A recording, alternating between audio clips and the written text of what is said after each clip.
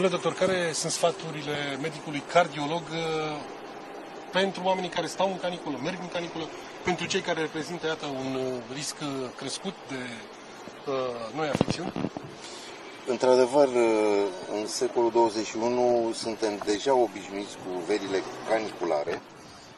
Din păcate, această vară este dublată nu numai de caniculă, ci și de inconvenientele produse de epidemia cu COVID-19, care uh, creează unele impedimente în legătură cu răcirea organismului supraîncălzit. Uh, oamenii trebuie să știe că în această perioadă este foarte periculos să ieși între orele 11 și 16, uh, să-și facă toate activitățile în cursul dimineții și serii, pe cât posibil. Cei tineri Uh, să se abțină de la activitățile sportive în perioada de maximă uh, incandescență. Poate să facă puțin sport dimineața și seara sau, dacă nuată într-o apă cât de cât rece, se poate și la orice oră. Uh, de asemenea, ținând seama de faptul că organismul uman poate fi comparat cu un motor, și știm că sunt motoare care se răcesc cu aer și motoare care se răcesc cu apă, Corpul uman se, se poate răcori cu aer condiționat, dar nu este o metodă ecologică, uh, pentru că usucă mucoasele, deci uh, îl folosim, dar cu măsură, pentru că el poate găzdui și uh, unele micro, microorganisme.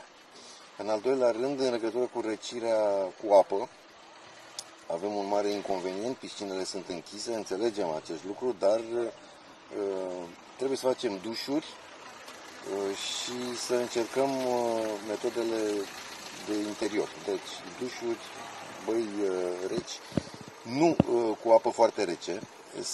Este cu total interzis săritul cu corpul supraîncălzit în apă rece. Poate duce la stop cardiac. Hidratarea? Hidratarea este foarte importantă fiecare dintre noi trebuie să consume minim 2 litri pe zi, dar nici să nu depășim 3 litri pe zi, pentru că apare un fenomen invers. Se recomandă apă curată.